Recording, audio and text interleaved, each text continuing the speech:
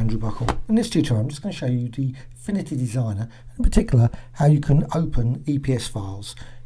Right, first thing to do, just go over to File and Open and select, there's quite a range of formats it supports, so but uh, this one's an EPS design, so these EPS files are available on the Graphicxtras website. You can letter font section, so the EPS format, so I'm just going to import that Right, you can also use the file and place. So I'm just going to select file and place.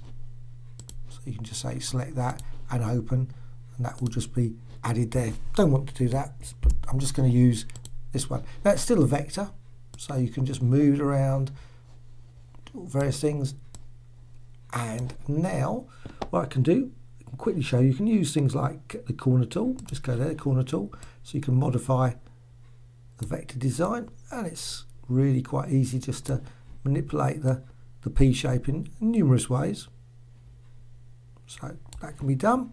Also use the node tool, just go over here and then just manipulate the path. You can create, create, create some very interesting designs just in a few seconds just by dragging this out. Now it's actually in some ways I find it easier to use than Illustrator but I suppose it just depends what, uh, what application you're familiar with, well, I'm actually quite familiar with Illustrator, but uh, this in some ways actually makes it very nice to uh, modify the curve and segments. Now, right, once you've actually done that, you can also obviously add effects, which is really quite nice as well. And I'm just going to go add, say, for 3D, or maybe add a slight blurring, so you can just modify blur to the, the vector design.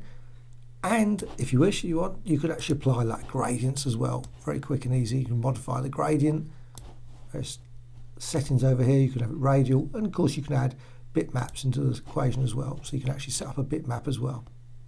So I'm not going to do that, but cancel. Right. I hope you found this of interest.